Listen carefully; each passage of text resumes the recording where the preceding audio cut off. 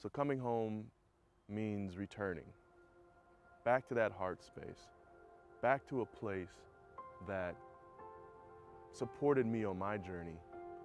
as not just a school or a, a, university where I could earn a degree, but where I can build a community, long lasting friendships, where I saw the need in a very different way. And being here and returning here opens up and invites a sense of, of belonging, a sense of connecting, a sense of